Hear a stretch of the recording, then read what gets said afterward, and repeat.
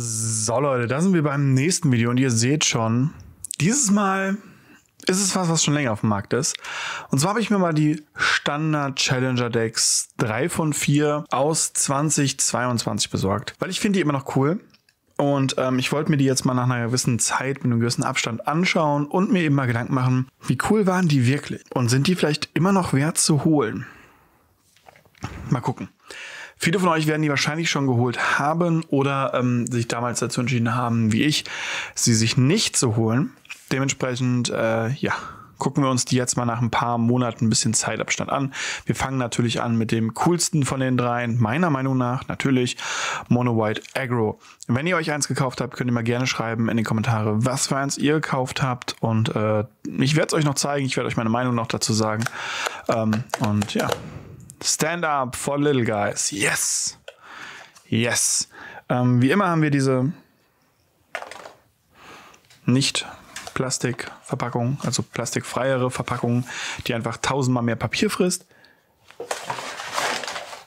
Was genauso ungeil ist, aber gut, gut, muss man mit leben.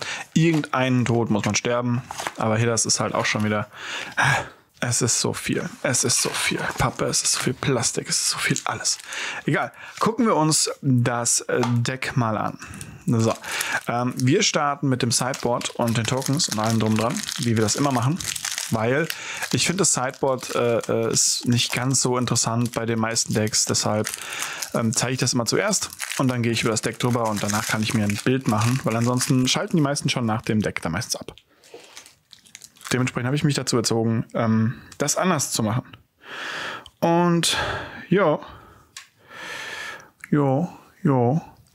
Da haben wir den Loyal Warhound. Wie immer bei diesen großen Openings gehe ich so ein bisschen über die Rares drüber und die anderen gucke ich mal so ein bisschen, bisschen an. Und wenn ich was, wenn mir das auffällt, dann sage ich das.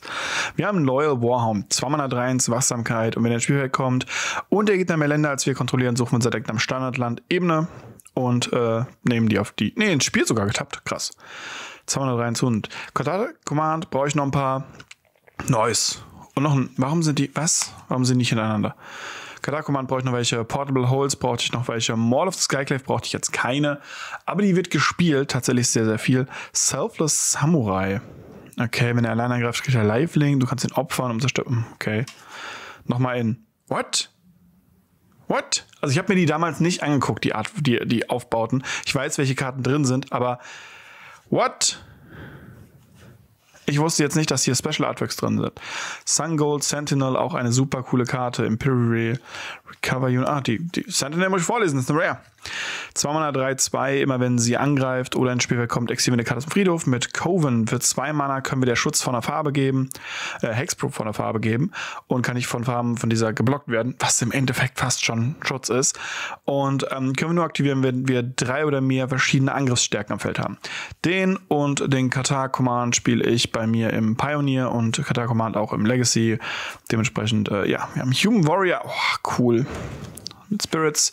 Illusions, davon kann man nie genug haben. Mit Clues, auch sehr cool. Mehr Human Warrior. Wow, what? So viele Human Warriors. Day Night. Hier sind Day Night Karten drin. Krass. Vier Stück. Nee, zwei aus, ähm, aus Sendika und zwei aus Kaltheim. Aber wir haben, wir haben Day Night, aber wir haben keinen kein so einen Token aus, aus, was? Ich, es ist eine Weile her, dass ich mir die Decklisten anguckt habe.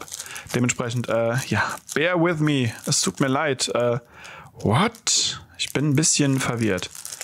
Wirklich. Äh, mal gucken, was jetzt hierbei rumkommt. Ähm, ja. Wir haben einmal Redain, God of Worthy, 3 Mana 2, 3, Fliegend Wachsamkeit, Snowlands, die die Gegner kontrollieren, kommen getappt ins Spiel, Non-Creature Spells, die Gegner mit Mana kosten 4 oder höher, kosten 2 oder mehr. Auch die spielt man hin und wieder mal im Texas, im Pioneer. Und dann hat hier noch das äh, Valkyria Protection Shield, 4 Mana legendäres Artefakt.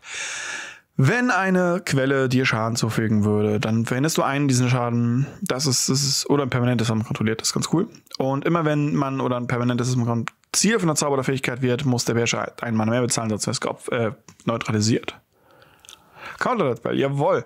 Ähm, Redain, sehr, sehr coole Karte, kann man als One-Off ganz cool benutzen. Dann haben wir Carrier and Takedown, zwei Mana fügt einer Kreatur oder Planeswalker wird Schaden zu, wie man Kreaturen kontrolliert, kann man eben ins Spiel bringen als ein getapptes Land. Auch hier haben wir eine komische Weise an, was? So ein bisschen durcheinander. Also das sind die Kaltheim-Karten. Das sind die Zendika-Karten. Ich bin jetzt noch nicht ganz sicher, wo hier Daybound, Nightbound ist, ob wir das überhaupt noch haben. Das sieht nämlich nicht so aus. Hä? Okay, gucken wir mal weiter. Monk of Open Hands ist eine ganz coole Karte. Zweimal Ashe of the Fallen, der war teilweise richtig was wert. Ähm, Nochmal Monk, das ist so strange angeordnet. Der Cleric, okay, auch nicht schlecht. Der Spirit, mit zwei Mana kriegt man immer einen Spirit, ist auch ganz cool. Luminarisch Aspirant, zwei Mana 1-1. Zu Beginn des Combats legen wir eine Plus 1 2 Mark auf eine Kreatur, die wir kontrollieren. Vier Stück, sehr, sehr cool. Ein Entrapped Adversary. 2 Mana 3-1 Lifelink. Wenn er ins Spielfeld kommt, kann man so oft 2 Mana bezahlen, wie man möchte. Und der äh, Kreaturen, die man kontrolliert, kriegen für jede Marke, die auf dem drauf ist, eine plus 1, äh, plus 1, 1 und man kriegt so viele Marken drauf, wie man nochmal 2 Mana mehr bezahlt hat. Nicht schlecht. Dann Talia. Ja, der gute Lady. Die Lady. 2 Mana, 2-1, Erstschlag, Non-Creature Spells kosten 1 Mana weniger zum äh, 1 Mana mehr zum Casten. Wichtige Karte, leider nur zweimal hier drin. Skyclave Operation, auch die ist zwar mit drin, was ich krass finde. 3 Mana, 2-2, wenn er ins Spielfeld kommt, exilieren wir zwei, äh, exilieren wir ein Nicht-Land permanentes mit Mana-Kosten 4 oder weniger, was wir nicht kontrollieren. Nicht Token, nicht Land, so ist es richtig. Und wenn er das Spielfeld verlässt, kreiert der Beherrscher einen XX blauen Illusionsspielstein, wobei X die Mana-Kosten sind. Go-To-Removal. Einfach so stark. Elite Spellbinder, 3 Mana 3-1 fliegend. Wenn er ins Spiel wegkommt, gucken wir uns die Hand des Gegners an. Wir können eine Karte, nicht Landkarte davon wählen. Und solange wir diese Karte, äh, und sie exilen, solange sie exilt ist, kostet sie 2 Mana mehr zum Casten. Haben wir drei Stück, stimmt. Paladin Class. Das Deck ist cool, ich mag das Deck. Ein Mana Spells, your opponent's control, also gegnerische Spells kosten ein Mana mehr. Für drei Mana kriegen Kreaturen plus eins plus eins und für fünf Mana kann man das Level dann auf drei hochschieben. Immer wenn man angreift, legt man eine plus eins plus eins Marke auf eine Attacking. Der kriegt eine Kreatur plus eins plus eins für jede angreifende Kreatur und kriegt Doppelschlag. So ist es. Das ist ein stronges Deck, gerade für Mono Weiß und ist noch nicht fertig. Fateful Absence. Zwei Mana wird zerstören Planeswalker oder eine Kreatur, der Beherrscher Investigate, also bekommt der den Clue-Token. Auch das sehr, sehr stark. Und dann haben wir eine gebannte Karte im Standard. Das war ja das Besondere an Hidden Deck. Ähm, man hat zwar eine gebannte Karte im Deck, aber wenn man diese 75, so wie man sie hier hat, nimmt und sie auf einem Turnier spielt, darf man Faceless Haven spielen. Das hat schon für eine Menge Judge Calls äh, gesorgt. Ähm, aber ja, es ist legal, dementsprechend passt da ein bisschen auf. Snowland, Tappen für ein farbloses, für drei Mana wird zum 4-3er Wachsamkeit mit allen Kreaturentypen. Das ist immer noch ein bisschen Geld wert. Und dann haben wir einen Arsch voll Snow-Covered Plains alle mit demselben Artwork. Schön einheitlich. Wow, das ist cool. Ja, das ist das weiße Deck. Was halte ich von dem weißen Deck? Äh, ihr, ihr, werdet wissen, ich mag das weiße Deck. Ihr bekommt es immer noch für sehr, sehr, sehr günstig. Dafür, dass hier immer noch Skyclave Operation, Talia, Spellbinders drin sind. Drei Paladin Class. Ganz viele Karten sind leider nur dreimal drin. Luminarch Aspirant zum Glück viermal.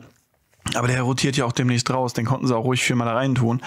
Hätten sie mit der Skyclave auch können, aber ähm, es ist ein sehr, sehr schönes Deck. Es sind sehr coole Karten drin. Alles spielbar. Und man kann daraus super, super easy ein Pioneer-Deck bauen. Man muss es noch nicht mal schwarz-weiß bauen, so wie ich mein Main-Deck spiele. Man kann es auch Mono-White spielen, ähnliches. Ähm, wenn ihr da Interesse dran habt, schaut mal beim guten Robin vorbei. Der ist ja eher für Pioneer bekannt.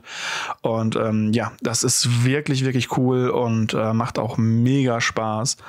Ähm, ich bin mal gespannt, was dieses Deck dann tut. Ich habe es mir auf äh, Ding mal zusammengebaut gehabt auf Arena und habe das da mal gespielt, als dieses Event da war. Musste man nämlich nichts für bezahlen. Und da war das Deck tatsächlich sehr, sehr stark und äh, gerade hier sowas wie Monk of the Open Hand und so weiter. Oh, so strong. Ich mag das Deck ist, glaube ich, wirklich mein Lieblingsdeck. Ähm, auch wenn die anderen vom Power Level vielleicht noch ein bisschen höher sogar sind oder beliebter sind oder ähnliches. Es ist Mono White. Es wäre surprising, wenn ich es nicht mögen würde. Dementsprechend hoffe ich, ihr hattet trotzdem Spaß und habt das Video trotzdem angeschaut. Und ich würde sagen, wir sehen uns beim nächsten Mal. Bis dahin. Auberg. Ciao, ciao.